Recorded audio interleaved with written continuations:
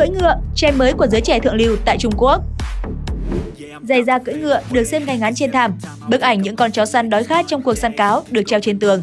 Đài phun nước tỏa ra từ miệng những con ngựa đá.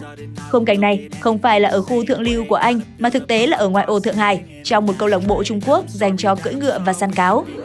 Hiện nay, cưỡi ngựa được nhiều người xem là môn thể thao quý tộc dành cho giới thượng lưu. Vì vậy, các câu lạc bộ cưỡi ngựa ở Trung Quốc đang phát triển nhanh chóng nhằm đáp ứng nhu cầu ngày càng tăng của giới nhà giàu nước này. Ngành công nghiệp này đang bùng nổ vì hai lý do chính. Các bậc cha mẹ Trung Quốc coi cưỡi ngựa là môn học dành cho tầng lớp ưu tú và qua đó sẽ giúp con cái họ nổi bật hơn trong xã hội Trung Quốc cạnh tranh cao và tiếp xúc đường với giới nhà giàu. Đối với người lớn, việc tham gia môn thể thao cưỡi ngựa có thể giúp họ mở rộng sang các khía cạnh hơn như là sở hữu, đầu tư, du lịch, giải trí và các hoạt động xã hội, cũng như gặp gỡ và trao đổi với đối tác.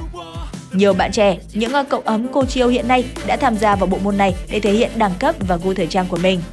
Hàng loạt những bức hình và những đoạn video sang xịn mịn quay cảnh ở Mỹ Nam, Mỹ nữ thần thái trên lưng ngựa đang được lan truyền chóng mặt trên à, mạng xã hội Tàu in của Trung Quốc.